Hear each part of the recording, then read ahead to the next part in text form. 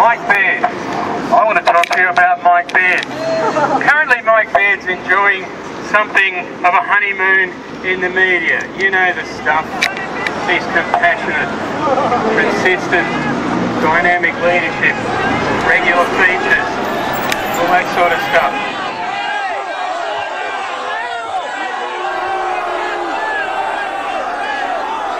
Actually, I think that Mike Baird is that most dangerous of politicians, the clean skin fronting a corrupt system. A sort of avatar for Nick Greiner.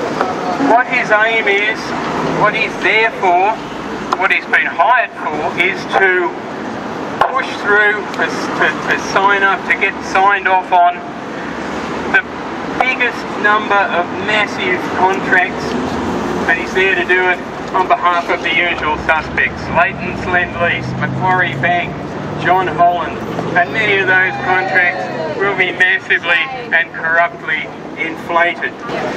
This whole Newcastle rail saga has been really an incredible thing if you think about it. 20 years ago, the developers and their Liberal Party uh, friends in Newcastle started promoting an incredibly inane slogan about opening up the city to the waterfront. And they backed this with a fake solution. There's been a lot of fakery here all along. We've had fake Liberal, uh, uh, Liberal independents running for Parliament, fake independents. We've had a whole series of, of corruption, uh, acts of corruption exposed. We've had a fake government department, the Hunter Development Corporation, which is basically the developers and some would-be developers rebadged as public servants.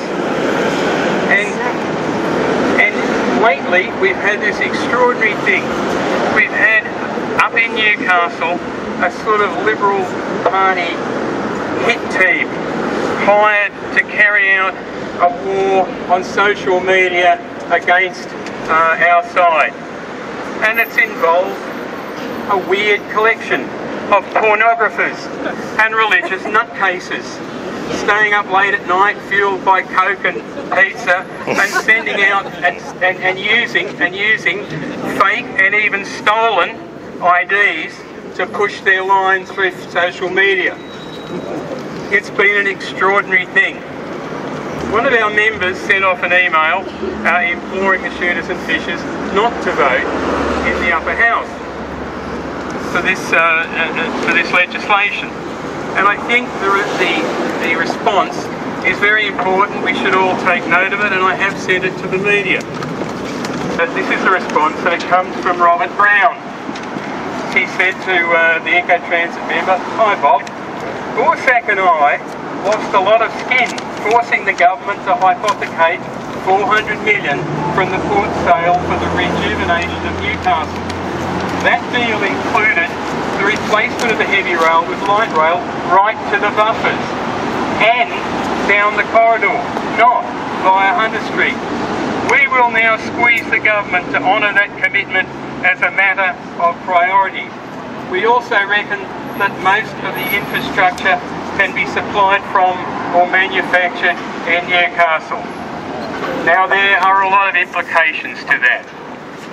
It implies that Mike Baird reneged on a deal that he had with the shooters and fishers to retain the corridor. It implies that they're going to vote against this legislation. Now, I'm not a fan the idea of light rail down the corridor. It's a 15 minute time penalty on travellers. But think about this. If they stick to that line, if the shooters stick to the line that they've now made public, then the whole scheme is at an end because the whole point of the whole the whole thing of the truncation was to sell off the land. So the message I think for uh, Robert Borsak and Robert Brown is this.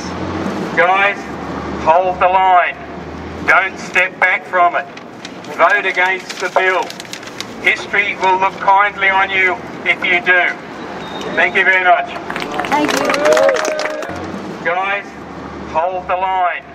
Don't step back from it. Vote against the bill.